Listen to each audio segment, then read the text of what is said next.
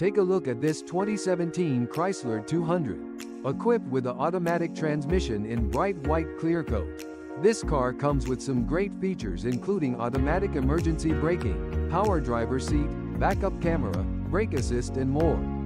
Come in and check it out today.